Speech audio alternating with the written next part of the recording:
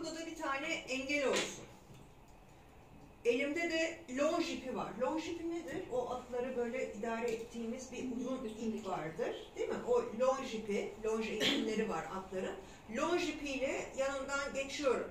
Buradan bu hayvanı şuradan geçirebilmek için e, önce siz önden gitmeniz gerekiyor. Önce siz burayı geçmeniz gerekiyor. Sonra ikinci etapta yapılan çalışmada yan yana geçmeniz lazım.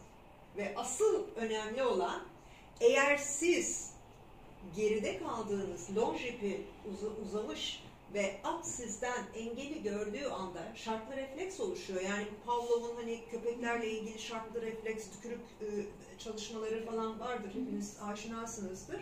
E, bunun gibi atlar böyle öğreniyorlar. Bu arada yaptığı her şey için bir şey gerekiyor. Ne yapmamız lazım? Her Peki, öğretme süreç. durumu. Ha? Peki süreç? Ve aynı zamanda ama ne yapacak? Ödül. Ödül ceza sistemi. Cezanın içinde asla ve asla şiddet yok. Zaten düşünsel yapı içinde yani yaptığımız formasyonun içinde düşünsel yapı inşasından bahsederken de asla ve asla